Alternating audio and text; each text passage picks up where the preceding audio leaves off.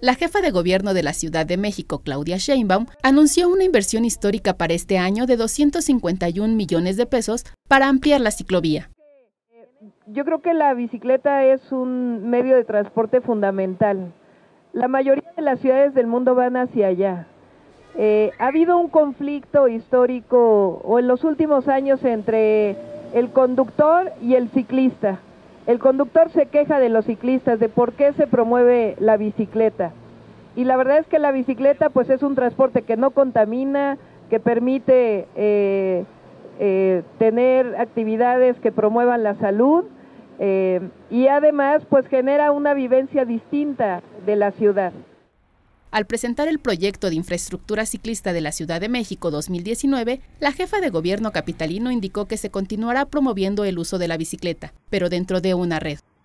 Para nosotros, la bicicleta es un modo de transporte que tiene que estar integrado, no solamente hay que promoverlo, sino que debe estar integrado al transporte público y a una forma de movilidad integral en la ciudad. Y vamos a seguir promoviendo el uso de la bicicleta del transporte no motorizado eh, a partir de un programa integral, no como esquemas aislados, sino que en realidad uno pueda cambiar de modo de transporte, de bicicleta a metro, de bicicleta a metrobús, de bicicleta a autobús o a otros modos de transporte. Y la idea es generar un sistema integral en donde las ciclovías sean parte de este movilidad integral sustentable de la Ciudad de México.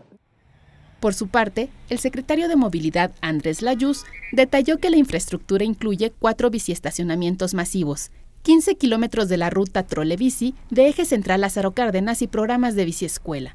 Y por eso tenemos 35 kilómetros de infraestructura ciclista solo en la zona central que va a permitirnos conectar eh, los trayectos que existían pero que no estaban integrados en una red. Después vamos a construir otros 35 kilómetros en zonas periféricas de la ciudad, principalmente. Esto es en Tláhuac y Xochimilco. En ambos casos, en el caso de Xochimilco, está conectada a las últimas estaciones del tren ligero, porque muchos viajes que hace la gente en Xochimilco son del centro de Xochimilco, en la zona residencial, hacia el tren ligero. Y en el caso de Tláhuac es lo mismo. Con información de Araceli Rivera, Notimex.